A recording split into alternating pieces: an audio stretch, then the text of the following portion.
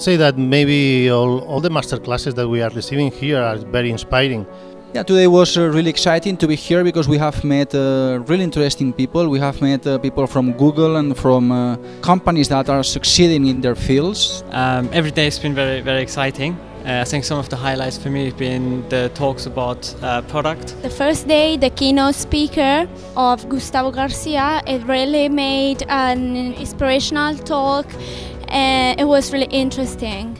The talks today have been amazing. The, both the guy of, of Google as, uh, and also uh, David Tomas uh, has been great, great, great assets for us. A lot of learnings. It's amazing to have so many different point of views. It's, it's another level of uh, really that uh, help us to. It's really exciting to be part of this group.